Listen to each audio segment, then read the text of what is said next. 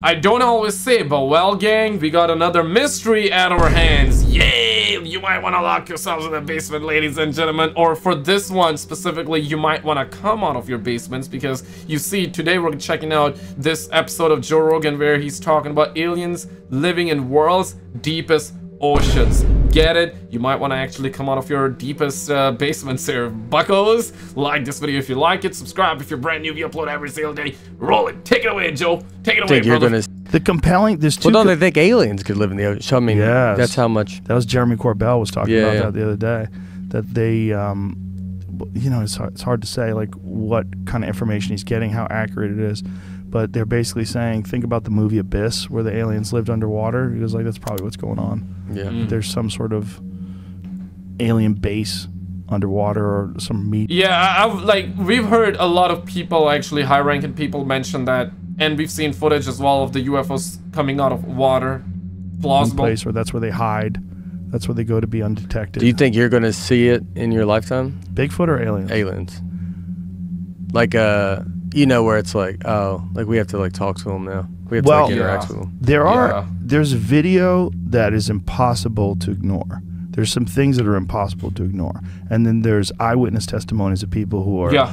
rock solid, totally dependable, like fighter pilots Yeah. who have seen some things. Like um, the best examples, this guy, Commander David Fravor, who was off the coast of San Diego in 2004.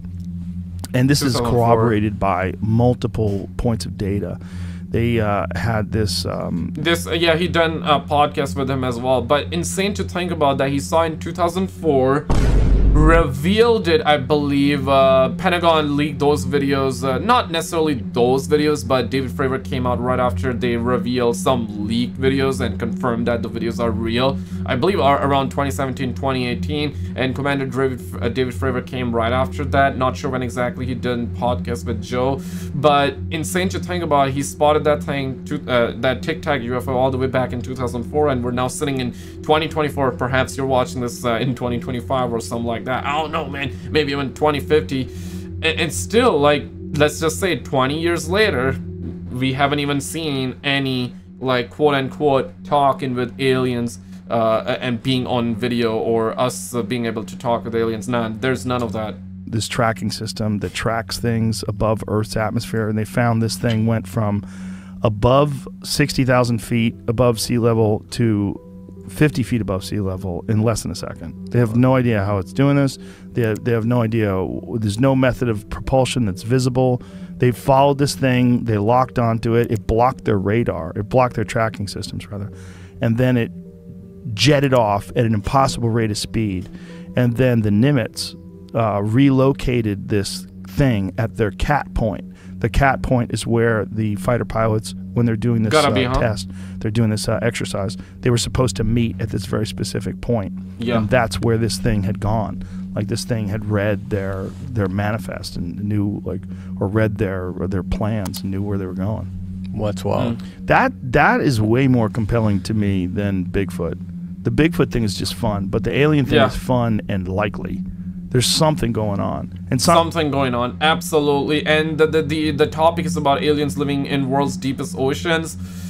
How many of you actually heard that story of where there were Russian divers underwater and they saw like a couple bunch of beings that were eight nine feet tall, right? Yeah, you're probably hearing eight nine feet tall aliens, right? I'm hearing that a lot as well. You know, last year Las Vegas thing happens, something crashed in somebody's backyard, and they say they're seeing like 10 feet tall aliens, uh, right? 10 feet tall aliens in Miami Mall or something like that. 70, 80 cops car shows up, right? I don't believe in that Miami Mall situation. I think something happened absolutely, and they they are hiding something absolutely but i don't think aliens showed up on in miami mall that part i don't believe in could be real could not be. Listen man i was not there whatever right? But of course i also was not there at the las vegas backyard situation that happened. But that is more likely to believe because even a year later the guy still remains shook uh, that's how it feels like and he still is sticking with the idea of hey he saw something and he's staying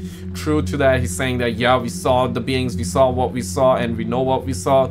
So I, I, I believe in that but but here's the thing though. Uh yeah that's the story of the aliens and underwater right? So russian diver sees beings underwater, eight nine feet tall, with like some sort of a suit on and helmets on as though they were using the helmets to breathe underwater. You ever heard that story? Yeah, right? Reminds me of that. And how many times we have seen videos of UFOs coming out of water and going inside water. Uh, there was this uh, report uh, covered not long ago where they said that UFOs were caught, at least one UFO was caught doing 500 knots underwater.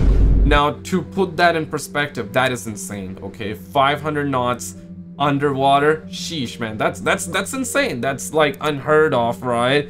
Because uh, it was completely unaffected by the water the weight of the water and the, the physics right? It, it's not normal. So it, it's insane. Absolutely I go back and forth. Sometimes I think it, maybe it's some sort of government drone that's like so sophisticated and they're, they, you know, they it's totally top secret. And if we ever go to war with China, that's when they're going to break it out. And then sometimes I think what they are is something that's monitoring us and making sure we don't blow ourselves up, making sure that we we make this journey from territorial apes with thermonuclear weapons into some sort of an advanced Perhaps. intergalactic society. And that there's a very crucial moment where the instincts of these tribal people, which is all of us, all human beings, are these tribal territorial people, where you have to keep them from sabotaging any possible future progress by blowing themselves up, by killing each other, by What if we talk to them the and then they and then, then when you say that they go, yeah, that was it.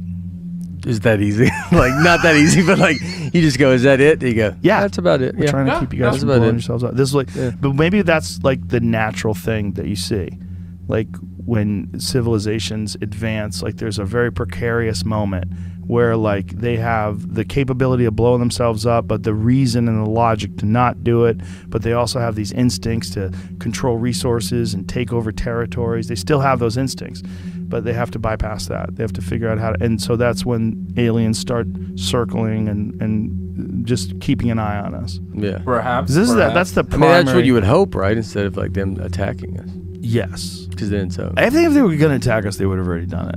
They're Like, yeah like or yeah this is this is one of those ideas that is brought up like many many times right if they wanted to attack us if they wanted to like uh take over the planet they would have done already by now makes sense though but what if it's like them plotting it right now and getting ready to invade you never know right you never know or it's one of those things it's like yeah one uh, one one alien doesn't get his banana and then it's like okay i'm mad now i'm pulling out my ray gun and i'm actually going invading this planet earth okay let me go find my boo boo real quick right it, it could be that as well maybe they're plotting it right now to eventually do it i don't think so but you always gotta explore different possibilities too. Now, for sure, this topic is very, very fascinating. That's probably is the primarily reason, primary reason you're watching this video, right? But here's the thing, though: when are we gonna know? Are we ever gonna know the truth? Is it gonna happen in our lifetime? Is it not? I guess let's if find they really could do all those things, they could probably take out our power grid pretty easy. Apparently, they're they. The, the stories are that they're able to shut down nuclear launches, Nuclear and launches, yeah. nuclear facilities, and that they do that, and they, they, they hover over military bases, and that they just shut everything down just to let you know, hey, bitch, you know, I can That's just wild. flip Yeah. that switch. So Yeah. don't get too fucking squirrely out there. That's so crazy. just it's a technology to to basically make it harder for radars to see you. You know, and that's the whole thing. You know, if you look at uh, Okay, so we got cut. Uh, the video got cut to this part. Uh, okay, so this is Commander David Fravor, the guy that claimed that he- he's a fighter jet, uh, fighter jet guy. He's a pilot. He's a pi- pilot uh, in Navy. Used to be, I guess. Maybe still is, but probably used to be. So, to in back in 2004, he did chase a UFO, and uh, yeah, crazy. you know, airplanes that are nose on uh, are harder to see than airplanes at the sides. Kind of like think of a barn door. If you're looking at the whole barn door, it's really easy to see. If I turn the barn door sideways where it's really thin, it's going to be a lot harder for you to see it. Got it. So that's that's the easiest, most basic way to look at this. So keep going. You can play again, and you can look. the The airplane is still sitting at twenty thousand feet. It's doing two hundred and fifty knots. He's going to go through different modes and try and lock it, and uh, it's just kind of sitting. And all of a sudden, uh, And we were talking about a UFO doing 500 knots, but underwater. Ooh, and we don't even know that if that was the fastest. Probably not the fastest. as the video goes on. I think it's a minute and a half long. See, it's going to try and reacquire. It recenters the pod, so it's it's slowly drifting to the left. The the the Hornet is still going the same heading, just kind of hanging out, and they're just filming this thing. And then when they get close, it's going to zing off the left hand side. When you see it on a full, because this, you know, you think digital, you'd be able to get a one for one copy. Unlike you know when you copy your album to a cassette, you know you lose a little quality. Well, you still do in digital world, and there off it goes to the left, and that's pretty fast to leave that field of view. On the when we we have big monitors that we look at these when they come back, so we're looking at the original tapes. So Play the end of that again, please, Jamie. Jamie, pull, so play when that it's again, taking Jamie. off, how fast? When when it just sort of like leaves the field of view and takes off to the left, how fast is that going? Uh, I would say pretty fast. It's an estimate. If we had ranging, you know, you could obviously do the triangle and go, hey, because we know how big the field of view is. But for something to leave the field of view that fast with the pod just staring is pretty fast. I mean, it, it just it's like out of here. Like nothing yeah. that we have. No, because we can't. I don't care what airplane is. So let's just use the F twenty two Raptor. That's probably one of the. It's, it's probably the best airplane in the world right now, Okay. performance wise. Um, it can't take off like that, I- especially if it's a Yeah, hover. I mean, you're, you're talking something that's just sitting in space in the wind, and then it just all of a sudden accelerates. Airplanes don't work that way. And it's not leaving any exhaust plume. no, notice there's none. And when you Play go back again, to the Jamie, IR, at the end. Even in the IR. Yeah, it's like uh, I, uh, humans be like, we got eyes on you. Target acquired. Target locked. Okay, now we're following you. And, and all of a sudden, aliens be like, nah, biatch, we moving out though. Uh. And it just takes off and goes out of field. Truly, truly wild. Yeah, yeah, yeah. But uh, what, what, what was the speed? What was the speed? I, I don't think anybody knows. IR, you don't. yeah, see, there's IR zoomed in, and there's no. You would see a plume if that was an airplane. It's creepy how it takes off. Yeah. with active jamming. It's intelligently controlled. There's no rotors, there's no plumes, there's no exhaust, there's no tail fin, there's no uh, tail number. This thing goes from a standstill, takes off. It's a propulsion system we don't have in our inventory, and no other nation does. That's uh, how it's understood by the government. Now that that's w- w- so if the fastest plane on Earth was trying to do that same maneuver, this system would be able to track it. Um, yeah, well, yeah, it would stay with it until it got to the, the limits of the pod, you know, as far as looking to the left. But Right. uh, and you know, the radar would see it. I mean, when you get you get close enough, you're gonna, you know, you, everything becomes visible because you get burned through with radar and how how radars actually work. This one is, you know, you, you tell me, but it, this was it- performance beyond. I mean, it's like when we saw it disappear when it flew in front of my nose. And I'm talking something. I'm, I'm within a half mile of it, looking at it, and it gets in front of me and just disappears. So take. We'll just go to something that everyone knows is fast. Let's just say SR-71 that's doing Mach three. Oh shit! You know, oh, the crap. visibility is 50 miles. But but but Tom Cruise did Mach 10 in that in that movie, man. I'm forgetting that name. I'm forgetting that name.